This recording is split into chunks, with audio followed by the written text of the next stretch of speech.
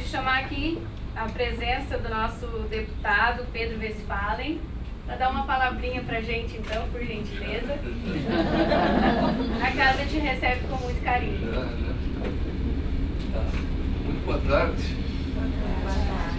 O atraso, estamos num compromisso aqui em Capela e conversando com a doutora Iracema sobre o evento aqui, da importância do evento. Ginecologista que sou, não podia deixar de estar presente nesse momento tão importante para Canoas, para o Estado e para o mundo, onde se fala em preservação do meio ambiente, onde se oportuniza a mulher ocupar espaços que antes não ocupava.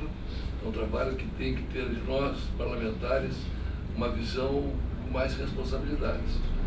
Bem-vindo aqui é um gesto de estender a mão e dar para as tantas obras sociais que vocês fazem aqui em Canoas, a Liga de Combate ao Câncer, que já dei, hoje ajudando, vou levar o hospital agora de pronto-socorro uma verba de um bilhão de reais aqui para Canoas, que precisa muito, tem mais de 200 municípios, mas quando eu soube desse evento, a, a me fez dar uma volta e vir aqui, e estar presente, ela sempre consegue lá. Né?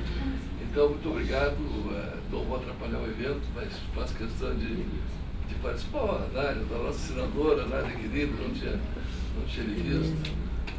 Brilho maior então aqui. Tenho um carinho especial, uma admiração pela Nádia muito grande, com quem aprendi muito, aprendo e vou aprender mais ainda. Parabéns a vocês pela iniciativa, que esse trabalho simples está da Câmara Federal conte lá com o deputado Pedro Westphal. Obrigado. Obrigada.